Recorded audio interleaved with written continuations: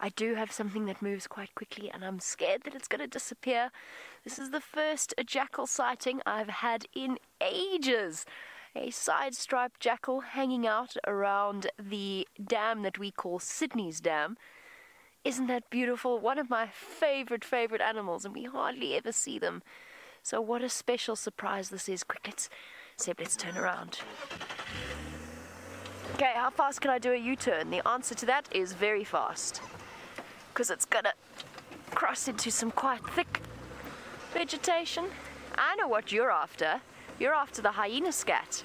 I think there's a kill somewhere, or there was a kill. Okay, look at the way it runs. I don't want to scare it.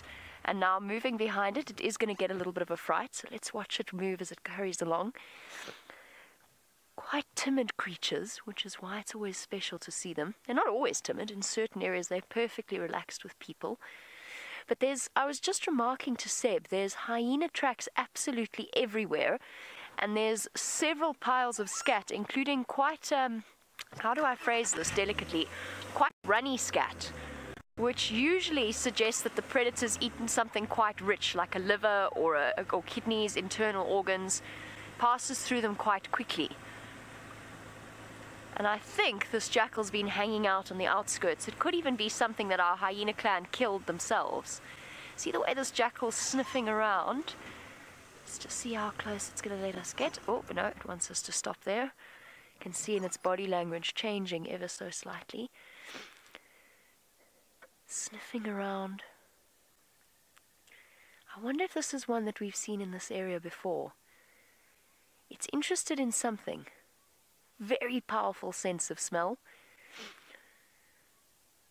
Such a beautiful creature. Basically, essentially the South African equivalent of a fox, in a way. Very similar. Little scavengers, but they'll also eat beetles, small rodents, even in some places hunt baby impala, where they hunt together as a group. We don't see that happen all that frequently here.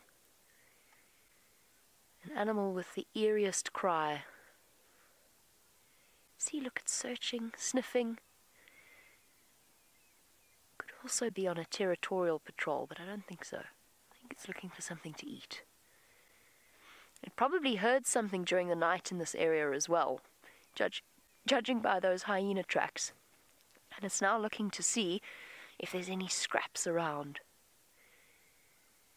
We get two species of jackal. This is the side striped jackal, and that side presentation that it just gave us is a really easy, clear way of seeing why it's called a side striped jackal.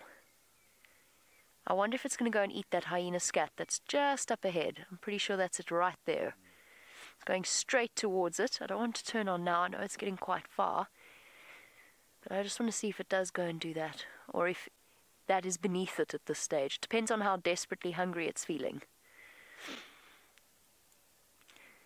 Now, this one is all on its own, but David, jackal are not solitary. They're actually wonderful little creatures. Oh, okay. Just to quietly disprove my theory, let's catch up. They live together in territories in monogamous pairs. So the male and the female mate for life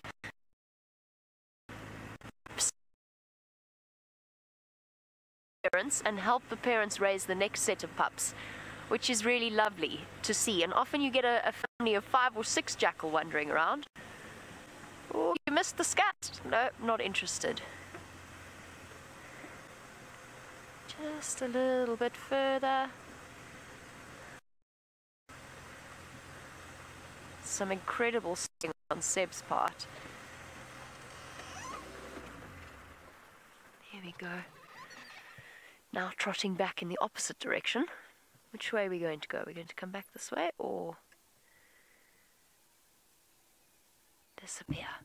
Now, if you would like your question answered, like David's was, you can send that through on hashtag Safari Live on Twitter. Here it goes. So it might be that this is a lone jackal that is hasn't yet managed to secure itself a mate. I haven't had a good chance to see if it's a male or a female. Our Canadian Emily, you want to know if jackals are related to wolves. They are. There's a funny story about that. I'll get onto that in a second. They are. They are part of the Canidae family. And they're quite closely related to wolves. Now, DNA studies recently have shown. Oh, where's this jackal gone? There is a species of jackal called a golden jackal.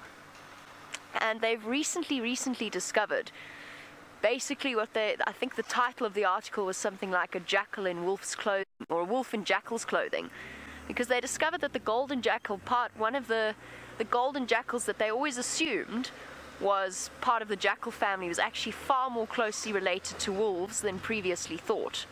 It was actually basically an African species of wolf. Oh, poof, well, there. Hyena scat, Ew, that's stinky.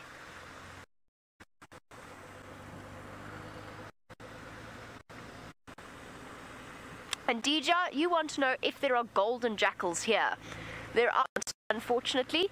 That's not something that we see in this area. We, they're much more sort of towards the northern parts of Africa. We only get the two species, the black-backed and the side-striped. Okay, sorry everybody, we've got to go all the way around, but it might actually be quite a good thing because we can have a look and see if there's any evidence of this um, hyena kill. I think it's a hyena kill, or they, they could have scavenged it from a leopard or something, it's hard to tell. Either way, the hyenas had a feast last night. Oh, this road's further than I thought, it's cold. Sorry, Seb.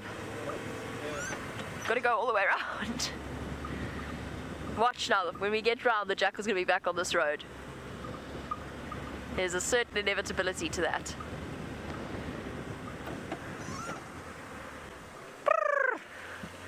I'm almost jealous of Tristan while I catch up with my jackal. He at least can walk briskly to keep warm. I haven't, I'm afraid. It's, the, it's a very, very difficult animal to stick with when it doesn't want to be seen. It has completely disappeared. Somewhere